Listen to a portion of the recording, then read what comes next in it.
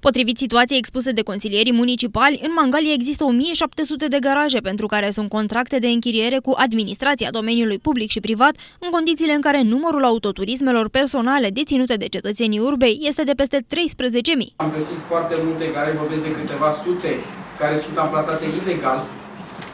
Vorbim de câteva garaje, vorbim de câteva garaje care nu respectă nicio normă. Avem garaje de 50 de metri pătrați. Are contract 50 de metri pătrați, cât un apartament. Uh, Discutăm de, de faptul că oameni, mulți dintre ei nu mai locuiesc în zona respectivă, adică are garajul pe șoseaua Constanței și locuiește pe Albatros. Am găsit situații în care are garaj în Mangala și locuiește la Liman.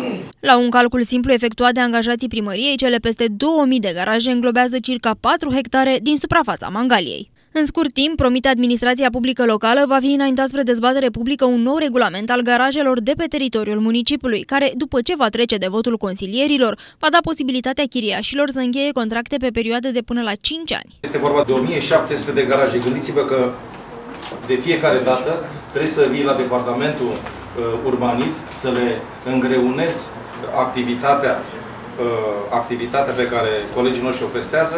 Acest regulament o să uh, supunem spre dezbatere, o să-l verificați și dumneavoastră venim completări dacă este cazul, îl vom aproba în ședința de Consiliu Local, după care putem încheia contracte de pe 10 ani de zile, nu pe 5 ani de zile, acolo unde se respectă și unde vor fi și va, vor fi mult mai riguroși. Până la realizarea și publicarea noului regulament, în cadrul ședinței de Consiliu a fost aprobată prelungirea tuturor contractelor actuale pe o perioadă de un an. Trebuie să ne gândim și la cei care n-au garaj, trebuie să ne gândim și la turiștii care vor veni la vară, trebuie să ne gândim să creăm și locuri de parcare.